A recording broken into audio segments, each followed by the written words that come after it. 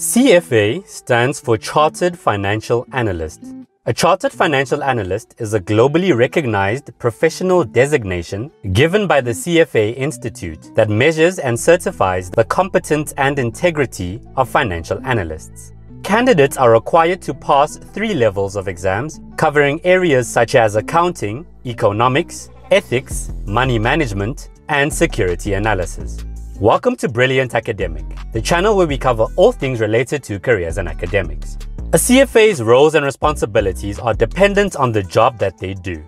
A CFA can do numerous jobs, some of which include portfolio manager, researcher, consultant, risk analyst and risk manager, credit analyst, trader, accountant and auditor, financial planner, buy-side or sell-side research analyst, chief investment officer, corporate financial analyst, and investment banker.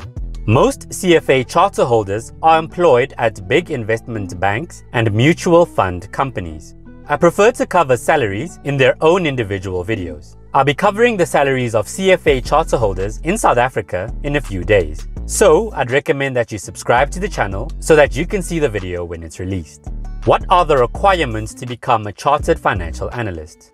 To enroll in the CFA program and register for your first level 1 exam, you must have an international travel passport and one of the following.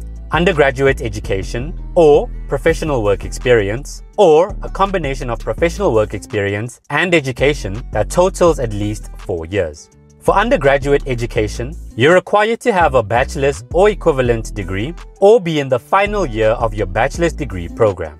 If you're in your final year, your selected exam window for the level 1 exam must be 11 months or fewer before your graduation month. Additionally, you must complete your degree program prior to the date of sitting for your level 2 exam. For professional work experience, you're required to have 4 years of professional work experience. It does not have to be investment related. For the combination of professional experience and education, part-time positions do not qualify and the four-year total must be accrued prior to enrollment. As mentioned, the professional work experience does not need to be investment related. Internships or articles are accepted if they are paid. Work experience with your own business or your family business will qualify only if it is professional experience for which you are paid. Below are the steps on how to become a CFA charter holder.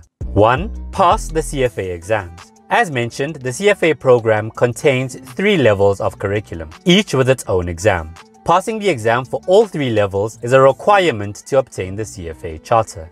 2. Achieve qualified work experience. You can complete the work experience requirements before, during or after participation in CFA program. Your experience must be directly involved with the investment decision-making process or producing a work product that informs or adds value to the process. Do be aware that the experience we talk about here is different to the experience that's required to take the exam. This is experience that's required for you to become a CFA charter. 3. Submit reference letters. In support of your membership application, you will need to provide two to three professional references. These references will be asked to comment on your work experience and professional character.